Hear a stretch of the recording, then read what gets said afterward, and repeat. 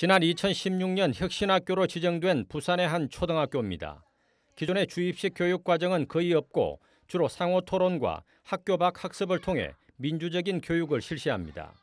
창의적인 학습 능력을 배양하기 위해 시도되고 있는 새로운 학교 형태로 부산에만 43개, 전국적으로 1,400여 개 학교가 혁신학교로 지정돼 있습니다. 울산에도 내년 중으로 초등학교 7곳이 울산형 혁신학교, 이른바 서로 나눔 학교로 지정될 전망입니다. 울산시 교육청은 현재 예비 혁신학교로 운영되고 있는 청량과 강남초 등 7개 학교에 대해 심사를 거쳐 공식 혁신학교로 지정하기로 했습니다.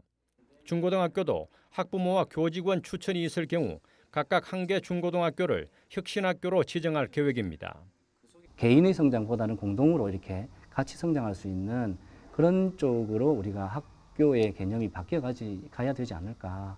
그 속에서 이제 학력도 같이 함께 보조를 맞춰가야 되지 않을까.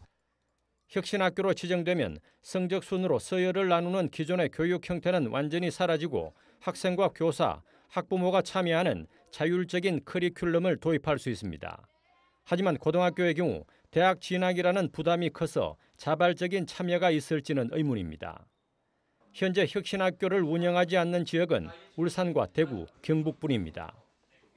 서로 나눔 학교로 이름 붙여진 울산형 혁신학교가 한 명의 아이도 포기하지 않는 울산 교육의 상징이 될지 학력 저하의 주범이 될지 시험대에 올라 있습니다. MBC 뉴스 이상욱입니다.